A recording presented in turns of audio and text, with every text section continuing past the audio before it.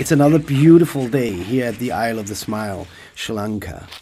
Anders and I are stopping by the Horathapola Estate, a fine villa north of Colombo, where they crush their black pepper by foot, the traditional way. Only one gear on this thing, but it does the job just fine. Our chef, Vijay, shows us around his impressive pantry, several hectares of lush Sri Lankan farmland. A little help on aisle 3, please. You don't need. You don't Hey, drink. so- you don't no, drink no, this. no, no, no, no. And uh, this, we only need one of these. Well, yeah, One is enough. yeah, that's enough. This beast here is the jackfruit, native to the island. It's nearly the weight of a bowling ball and spiky to the touch like something plucked out of a coral reef.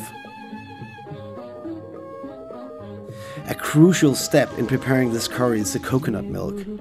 A common theme we are beginning to notice. And here again, a clay pot lit by wood fire. Sri Lankan traditions inform all the details here at Horathapola. Also on the menu tonight, a rich and hearty black pork curry. A toast to the chef. Ronald Petroni. Thank you Thanks so for uh, picking all the leaves and the vegetables for this wonderful dish. This is uniquely Sri Lankan. Fiery, sweet and sour, fresh, crunchy at the same time. So I like the different textures.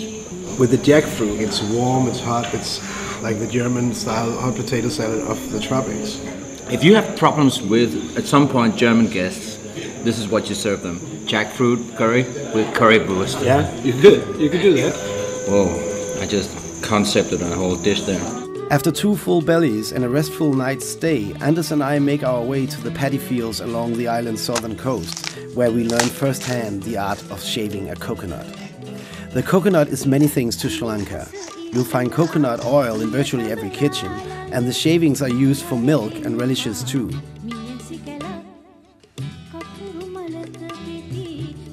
Today's treat is a mackerel fritter. Onion, curry leaves, ginger, and garlic hit the pan while Anders and I get to the peeling.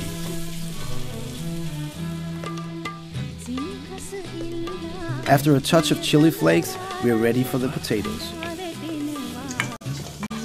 Then comes the mackerel with a kiss of lime. Mix evenly and roll it up like so. Dip each one in egg batter, flour, and breading. Now send them into the fryer. When they're ready, don't wait too long. These perfect bites are best served hot. Here's the mackerel, Chunky. I like onions, and potato. You could probably mince it more, but And there's the curry leaves and the flake chili. oh, this is good. Very nice. Very, Mhm. very nice. This is how you're supposed to eat them, fresh out of the Yeah, cooker. crispy.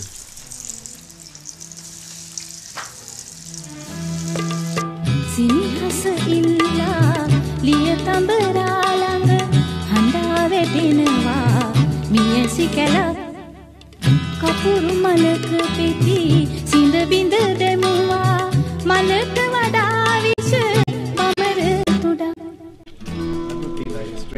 Pistol. Yeah, this is. We are here at the Foundation of Goodness to learn how to make string hoppers. Our friend Pradeep has a practiced hand and he sends the rice flour through the hand press like a natural. Good. Excellent. String hoppers provide a tasty way to scoop up whatever else is on your plate, and the thin ribbony texture is a special treat you'll only find on the island. Stick around the island long enough and you're bound to hear about this place, the Ministry of Crab. The reason that we have our walls in yellow or orange being our colors for two reasons. One is because when the crab gets cooked, it turns that color. And this is the old Dutch hospital. So Dutch colors are orange. we don't add salt into our food because the crab has natural salt elements. It's a kilo crab, so it's quite big in there.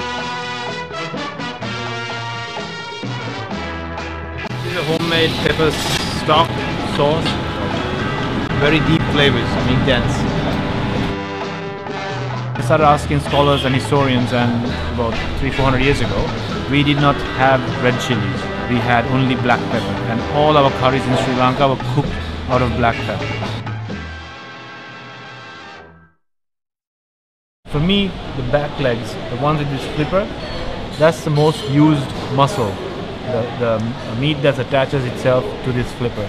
So if you can peel the meat around it, it's the most sweetest and most succulent part of the curry.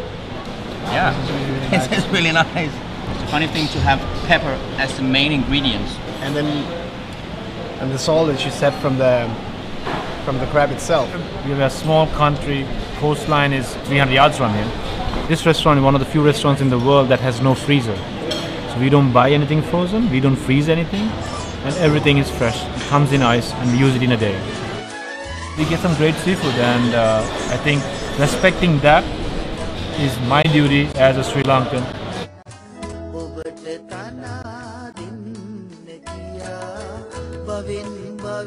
Another mainstay in the Sri Lankan cookbook is kiribat, a rice pudding made in homes all across the island. Here again, the coconut is shredded and pressed into milk. Light a fire beneath your trusty clay pot and boil the rice with the coconut milk.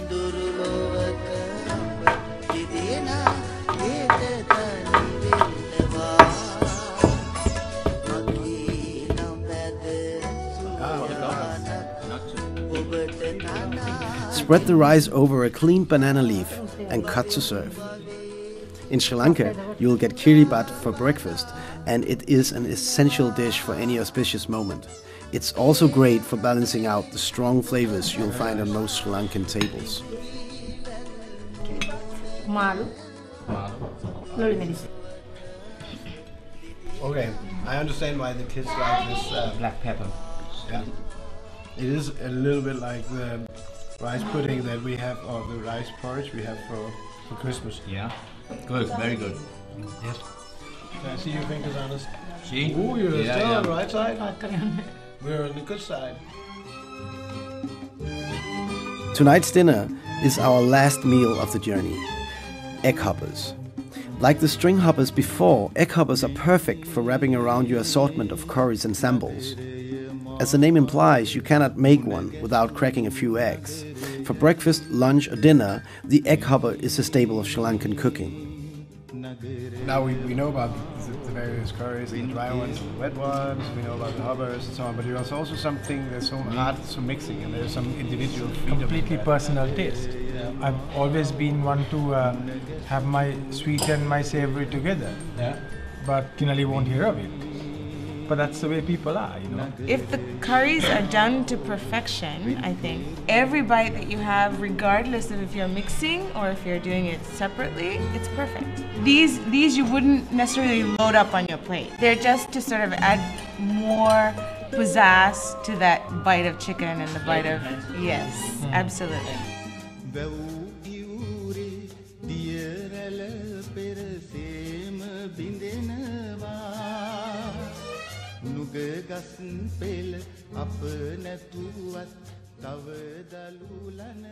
Nigel here is a lawyer in Colombo, and his family has welcomed Anders and I with a warmth and hospitality you can find anywhere on the island.